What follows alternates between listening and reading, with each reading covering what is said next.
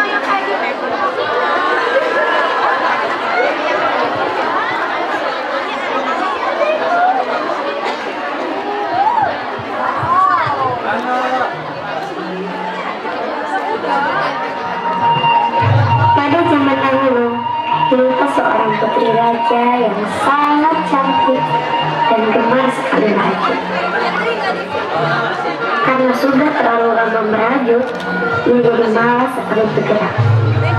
Bahkan ketika alat rajutnya terjatuh, ia enggan untuk mengambilnya.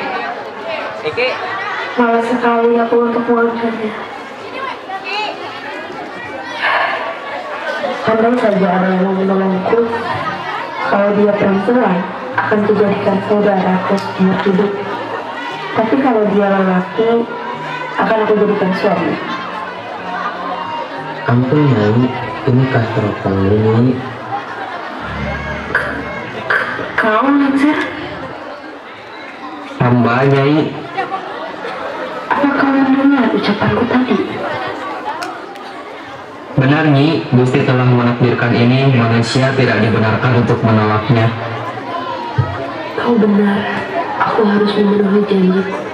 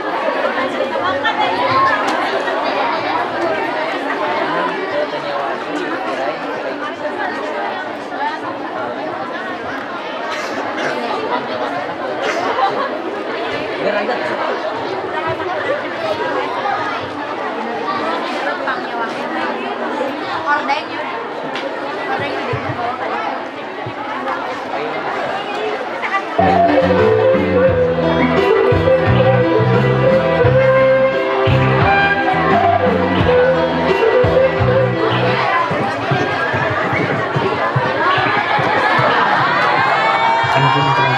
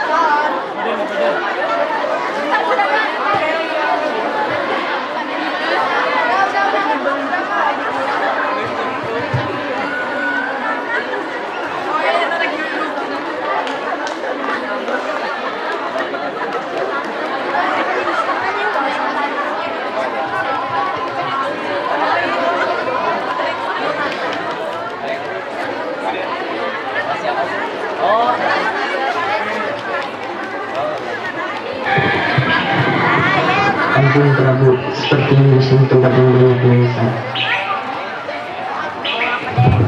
Maaf, Prabu, sepertinya itu utusan kerajaan. Ampun Prabu, hamba baru mendengar kabar bahwa ada yang sungguh hamil. Apa? Sudah hamil? Raja pun kembali ke kerajaan.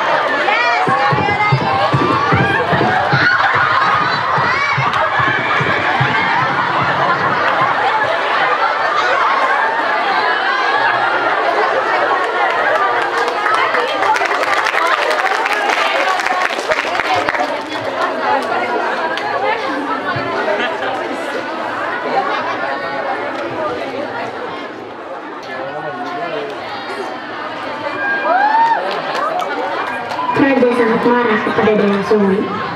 Lalu dia menanyakan siapa yang telah berani berbuat seperti itu kepada putrinya. Tumbi, beginikah cara membalas budi kepada ayahmu? Tumbi, katakan, siapa laki yang telah menodaimu itu? Ayo katakan, kau tidak mau menjawab. Aku jawab, kemari, penggal dia. Ampun Prabu, hamba yang telah melakukan hal tersebut. Kau belegu. Dengar Winston, aku tidak menerima perilakumu yang seperti anjing itu. Karena terlalu kesal, Raja akhirnya mengutuk Lengser menjadi seekor anjing.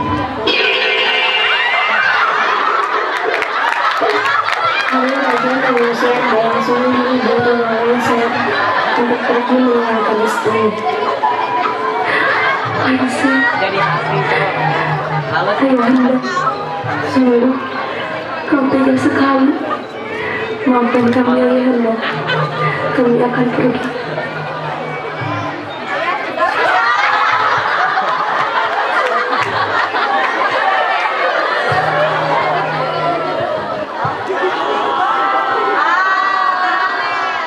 tidak lewati. Hidup bahagia bersama Umang dan anaknya Nyakasana. Mak, mak, lihat kali ini Jaka bawa kelinci untuk emak. Ambillah mak. Wah, pintar sekali kamu Jaka. Tapi Jaka, rasa-rasanya Emak ingin sekali hati menjangan. Emak mau. Itu pun jika kau tidak keberatan Jaka. Jaka akan carikan sekarang.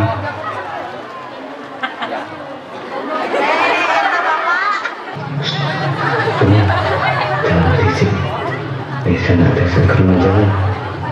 Kirim kemari.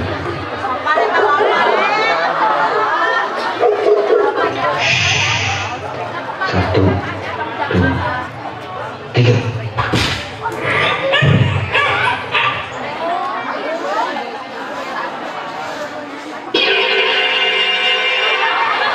Jaka, kau ambillah hatiku. Nanti emakmu kecewa. Tapi Jaka sana tidak tahu jika tunggal menghadap Malaysia bapaknya. Jaka,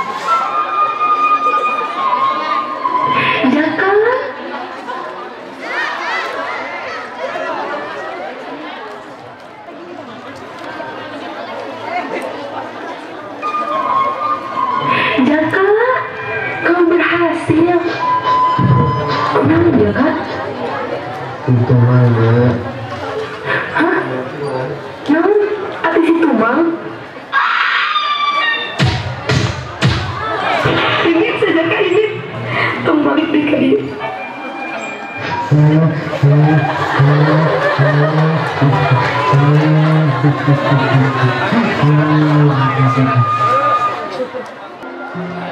beberapa tahun kemudian, Jaka Sona tumbuh menjadi seorang pemuda yang tampan, gagah, juga memiliki kekuatan. Lalu dia berganti nama menjadi Sang Kurya. Ternyata Sang Kurya sedang diburu oleh orang-orang keraton. Sehingga pada saat dia bersembunyi, dia bertemu dengan salah seorang gadis yang sangat cantik. Siapa kau? Kenapa sembunyi di situ? Dan aku Tengkurian, aku tengah diburu oleh orang-orang keraton. Kau pasti orang jahat. Tidak, tidak, aku bukan orang jahat. Sakit kasih kieu. Pernyataan sang Kuryang, kemudian Narasati membawanya untuk bersembunyi. Akan sembunyi di sini ya.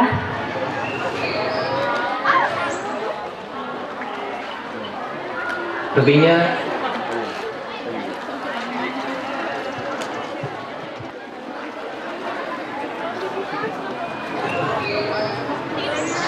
Sepertinya Yang Maha Kuasa telah menakdirkan kita untuk bertemu.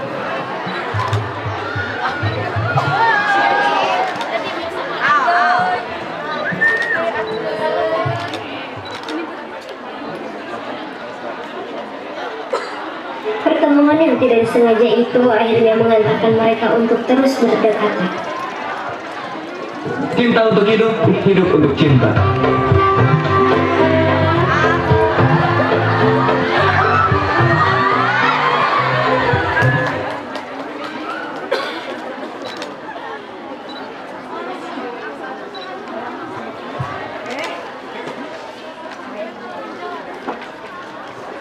Ketika mereka sedang bersama, terlihat banyak sekali orang yang sedang mencari keberadaan sang Kuryang. Tiba-tiba, Larasati membawa sang Kuryang untuk masuk ke rumah. Sepertinya ada orang-orang keraton. Akan sembunyi di sini aja ya. Nyai sungguh cantik dan baik hati. Punten,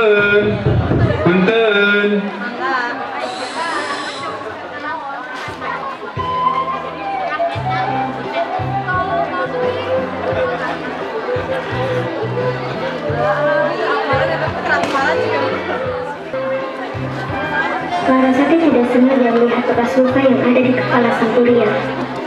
Kemudian Larasati menghentikan aktivitasnya secara tiba-tiba. Ia teringat ketika memukul Jakasona yang meninggalkan bekas luka yang sama. Kunaon nyi? Jangan panggil aku Nyi Jakasana. Hah? Dari mana kau tahu nama kecilku? Larasati yakin bahwa sang Kuryang adalah Jakasona yang dia usir waktu itu. Aku ini emakmu Jakasana. Tidak mungkin. Emakku telah tiada. Aku sendiri yang menguburkannya. Aku Dayang Sungguh Jakasana. Bohong, kau memang mirip dengan dia, tapi kau bukan makhluk. Kau tidak usah cemas nih, aku akan menikahimu.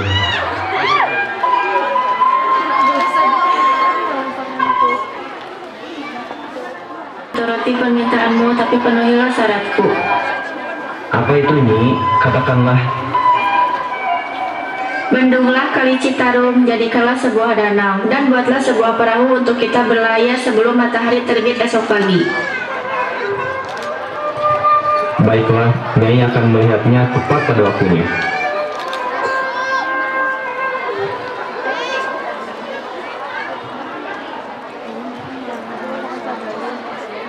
Dengan cepat menyelesaikan satu persatu tugas yang Larasati berikan.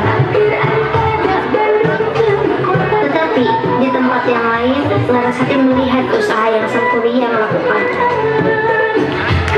Ternyata danau dan perahu yang Larasati inginkan sudah hampir diselesaikan oleh sang Kuryang. Larasati tidak bisa membiarkan sang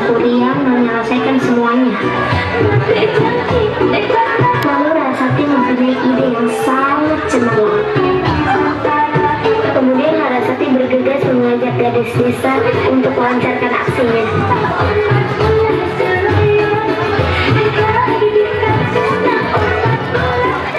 Maukah kalian membantuku? Membantu apa? Pokoknya ayo ikut denganku. Mereka pun bergegas untuk kembali ke tempat yang sebelumnya Larasati sudah rencanakan.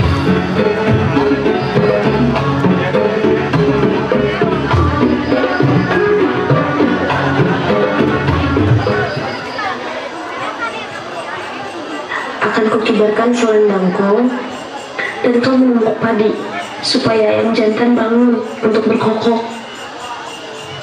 Sementara itu, untuk membuat keadaan semakin yakin kalau pagi sudah ada, maka kau nyalakanlah api agar cahayanya mengenai selendang yang kau kibarkan. Maka Kuryang akan merasa gagal atas tugas yang kuberikan. Apa kalian siap? Satu, dua, tiga, mulai.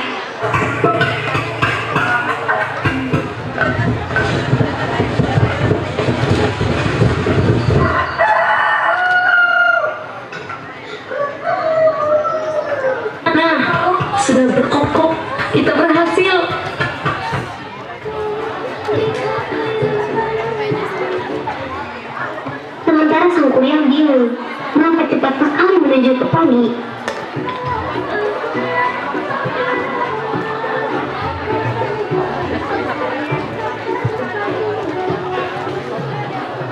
Para kerabat kesal, sang kuryang akhirnya menendang perahu tersebut sejauh-jauhnya.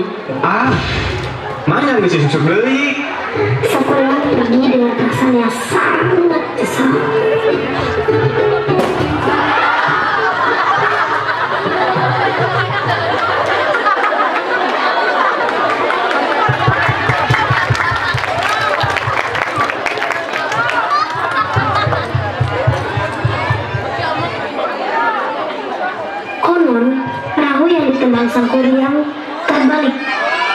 kawasan Bandung dan kota Subang yang kini dikenal dengan istilah Gunung Tangkuban Parahu. Sekian.